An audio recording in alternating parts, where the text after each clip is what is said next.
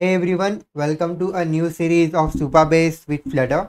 In this series, we will be exploring about what is Supabase and how we should be using Supabase with Flutter.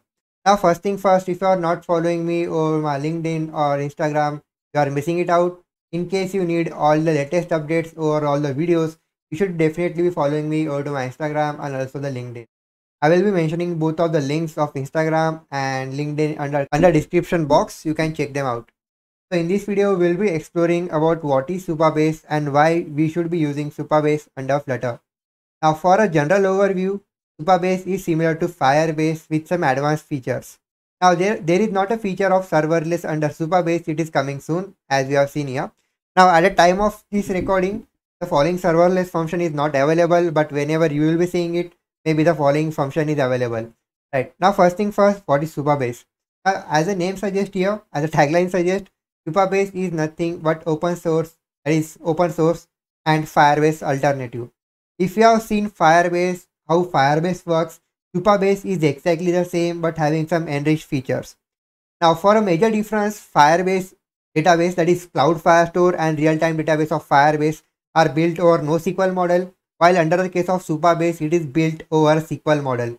Now, similar to Firebase, there is an option of authentication under Supabase. It will be also giving us all the features of authentication with our social providers, email, phone number, etc. and etc. Under case of database, database is built on top of Postgres, that is entire database will be a type of SQL database. Other than that, it will be giving us an option of storage. Under the case of storage, it will be storing some values such as images and videos that is all the media assets. Under the case of real-time subscriptions, the real-time subscriptions will be an obligatory version of Postgres. That is, whatever data that will be changing under the Postgres table, we can listen to it under real time. We will be listening to real-time changes with the help of Stream Builder under the case of Flutter. Now, under the case of instant APIs, there are various API available. Right. So, without any further delay, make sure you have created a new account on Supabase. To create a new account, you just have to log in here with your GitHub. So I can simply start your project that is click on the button of start your project.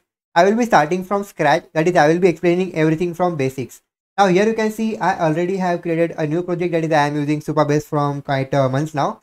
So I have built a project of TikTok which is a kind of clone that is fully functional clone of TikTok. If you need the source code of TikTok you can DM me on Instagram or LinkedIn or comment down under the comment box. But instead of that you can see once we have reached this place you have to create a new organization I have already created my organization which will be pre-built with your with the help of your GitHub username.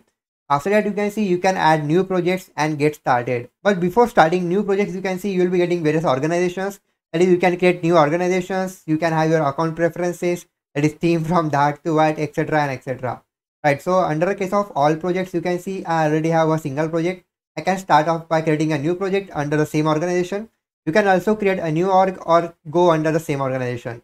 So here under this thing, we will be creating a to-do list. So here I can say to-do list itself to be our project name. Now here you have to provide your database password. Now make sure you will be remembering your database password from time to time because we will be requiring database password in everywhere. Right. So here I can uh, add a new password of 123456789 and also let's say Supabase, any sort of thing. And yeah, you can choose your region. I will be choosing South Asia for Mumbai. You can simply create a new project also, we can rename our project name later, but you can't rename your database password and a region. So make sure you remember both of them. Now the following thing will take some time. So while this thing is loading, I want to give you some brief introduction about the interface of Supabase. Now here you can see you will be getting a URL and JWT secret and other things. Right. Now also you will be getting bunch of example projects, but none of them are built for Flutter. So in this series, you will be exploring a real world application of to-do list or with the help of Supabase right. So without any moving on or further into this now this thing might take some time as it is provisioning our database and endpoints so let's wait for it. All right so now our new project is up and ready of to-do list. As you will be getting some bunch of things that is real-time database authentication storage and etc now without any further ado i can i will be explaining to you about what the other things means under the left hand side. So first of all you can see you will be getting this table editor so under this, you can see you will be getting an option of creating a new table and also some all the views, right? So in this thing, that is in this section, you will be able to create new tables for your database. Now under the case of SQL databases, we don't have collections, we have tables. Under tables, there are multiple columns and rows and we store our data under that. Right. So after having this table section, there is also a section of authentication. Under authentication, you will be getting bunch of other uh, options as well. For example, if you go under settings, you will be getting some external OAuth providers, which are a huge bunch of things. Also, you will be getting phone authentication, email authentication, and also some other options. Right. You can also uh, disable the option of enable email confirmation if you don't require that, and etc. and etc. Right. So you will be simply authenticating all of our users with the help of these sections. You will be also getting bunch of policies and templates the templates will be containing some confirmation signups, that is reset passwords, magic links, etc. and etc. All of these stuff will be sent to the particular user who wants to use a particular service. After that, you will be getting a storage API.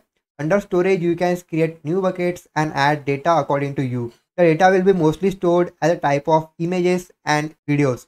And also you have to denote the type of images that you are storing and also the type of videos that you are storing. Under this case, you will be getting bunch of policies and also usage. Now the policies here are important factor. So we will be creating different policies and a separate video will be based over policy itself. After that you can see you will be getting the SQL query. That is with the help of this section you will be able to perform raw SQL queries under your tables. The section of table editor and the SQL shell is connected. But here under case of table editor you can directly create that is interfacically create new tables, new rows, new columns. But under case of SQL thing, you have to write your own, that is your own SQL code.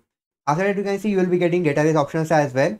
Under this, you will be able to check all the tables that are available under your entire project, all the roles, extension, etc. and etc. Now, Supabase is highly concentrated over Postgres. So you will be getting bunch of sections connected to Postgres. Now you will, here you can see you will be getting bunch of other things as well that we don't have to pay attention right now.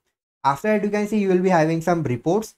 We don't have to look over reports right now because we are not under any production mode. After that, you will be getting bunch of APIs. Right now, you can see at the start, I told to you there are a bunch of APIs. Now, these are the entire APIs. Right, you will be getting authentication API, user management, etc. and etc. So, this was a complete overview of Supabase that we will be using. Now, make sure you have created a new account, created a new organization, and also created a new project. In the next tutorial, we will be taking a look over authentication with the help of Supabase that is with the help of email and password. So I hope you have loved this tutorial. Make sure you have hit that like button. Also follow me both on my Instagram and also on LinkedIn. So I'll see you in the next one. Goodbye.